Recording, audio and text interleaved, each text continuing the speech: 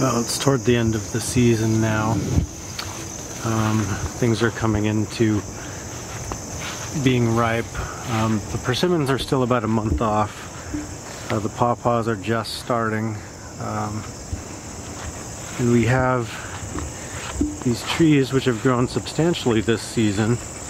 They're just starting to harden their wood for winter.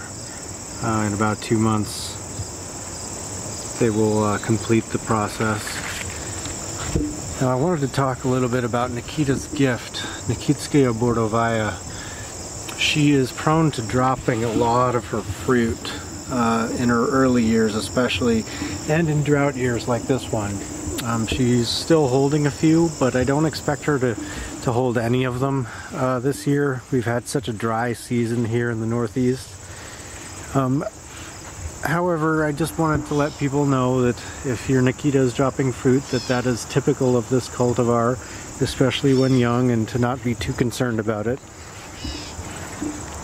This is Dr. Kazas. This was a single bud graft two months ago, and you can see it is taken off completely, three feet in growth. Um, that's a very successful graft, in my opinion.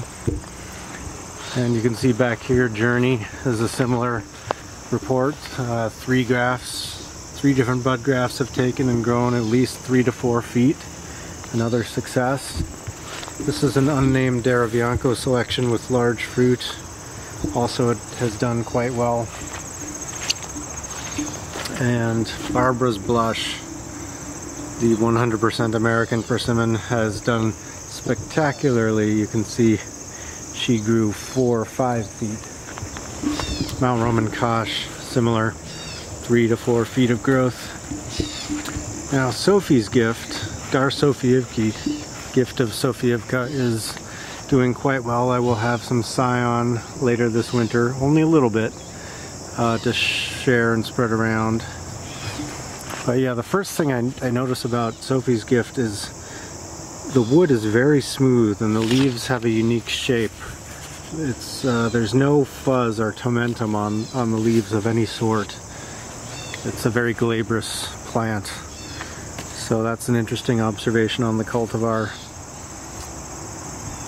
Now the only tree that seems to have done very well this year is my uh, Yates persimmon, which is holding like a thousand fruits of very large size. And this is the first year that it has done this. It is 11 years old To give you an idea of how long it can take a persimmon to come into consistent bearing. Still a young tree, but she is about 20 feet tall and uh, making loads of fruit.